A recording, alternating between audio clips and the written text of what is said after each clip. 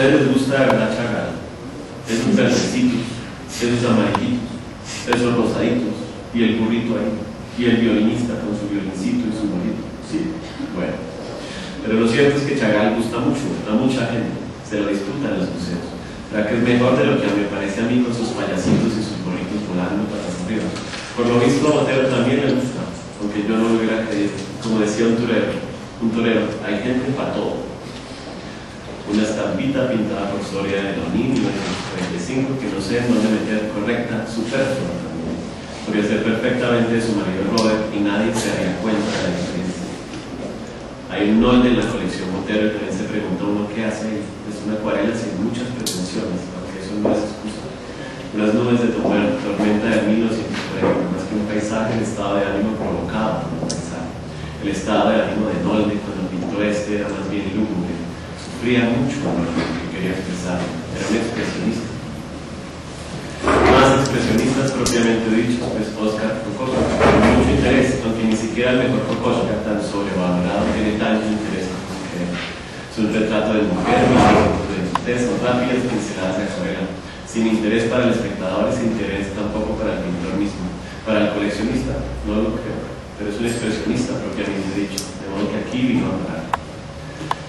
Veo que le estoy haciendo muchos reproches a Botero y le haré más, pero no pido disculpas. ¿Quién le manda a ponerse a regalar cosas? Al contrario de lo que dice el refrán popular, al caballo regalado hay que mirarle siempre con un crítico y bien. Con los coleccionistas pasa lo mismo coleccionan siempre el mismo cuadro. En esta colección tenemos más de 100. Gracias. El 1 de noviembre del 2000 tenemos una carta que hace Fernando Botero agradeciendo que le reciban la donación. Entonces se la dirige al señor presidente de la República, Andrés Pastrana, a Nora, a Miguel Urrutia, a Elsa, al presidente Gustavo Bell, al señor presidente Alfonso López, la señora Gina Benedetti, alcaldesa de Cartagena, la señora Enrique Peñalosa, a Juan Martínez, y al final a nosotros, distinguidas personalidades. Ah, no, no, no, no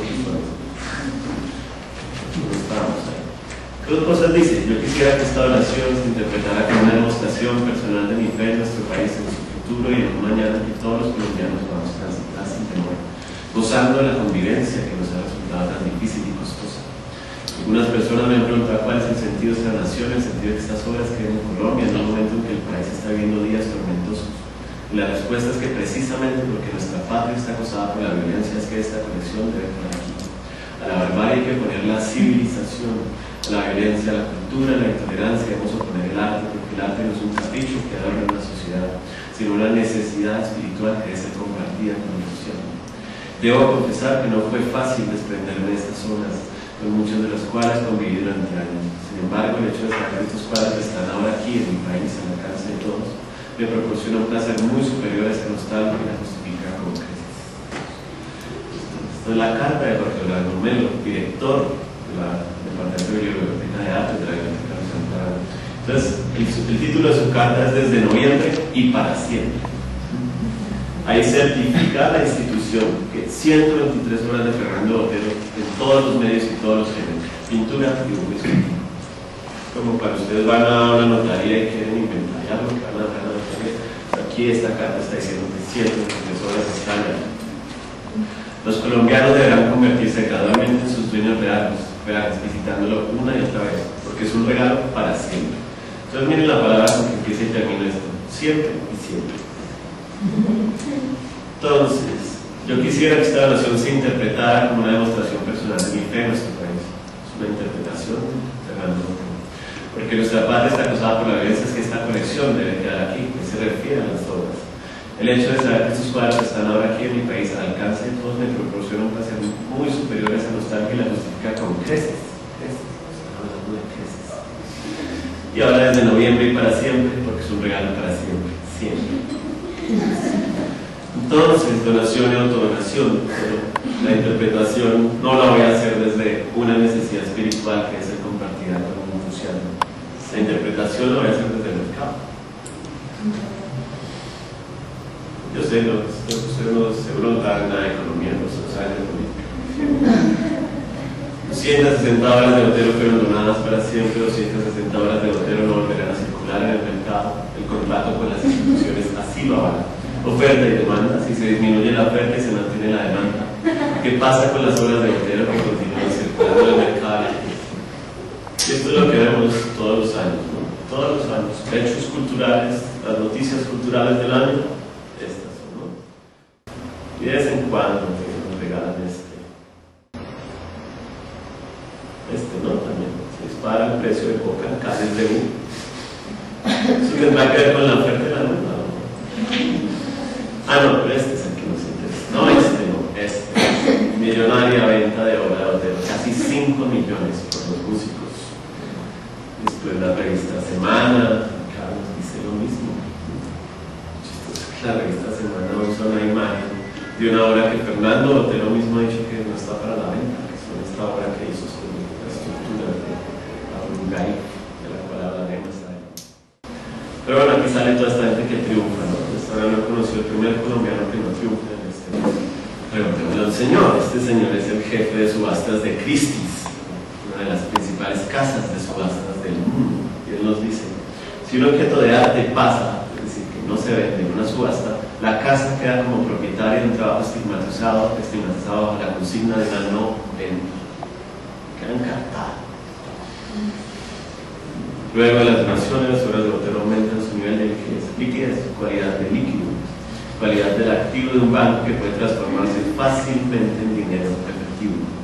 Relación entre el conjunto de dinero en caja y de bienes fácilmente convertibles en dinero y el total Es decir, si ustedes quieren pagar la matrícula de la universidad, traigan un. Se lo recibimos sin problema.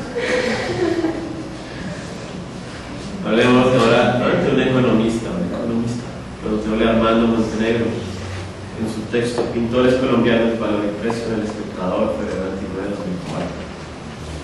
Armando Montenegro habla de un señor Edwards, que ha hecho, sí, se trata de una base de datos de más de 12.600 transacciones de obras latinoamericanas realizadas en los últimos 25 años en las principales casas de subastas. Con estos datos construyó una lista de 117 artistas que han vendido cada uno por lo menos 35 cuadros en dichas subastas. Solo 5 pintores colombianos, Botero, Grau, Juan Mercedes Solos y Daniel Morales. En cuanto a la valoración de las obras de Botero, los datos de Edwards muestran que el precio promedio de sus obras en las subastas ha sido de 138.508 dólares, que sus cuadros recientes son más costosos que los que realizó en su juventud. Al observar este fenómeno, Edwards concluye que Botero es un pintor experimental, que está en un proceso continuo de búsqueda de mejoría de aprendizaje. De acuerdo con la metodología de Edwards, el mayor valor monetario de la obra más reciente de Botero sería única e inevitablemente consecuencia de una mayor riqueza artística en su producción actual que la más temprana. Una conclusión que podría ser, por supuesto, motivo de controversia. El mayor precio de sus cuadros no será más bien el resultado de otros aspectos de la oferta y la demanda del mercado del arte.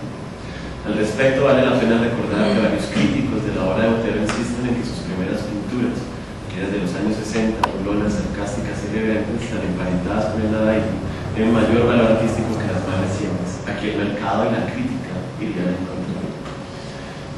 son unas tablas que hace Edwards mostrando cómo al comienzo esta tabla es la edad del pintor y esta tabla es como la importancia de sus precios. ¿sí? Mira, mientras más joven, más cuesta. Mientras más viejo,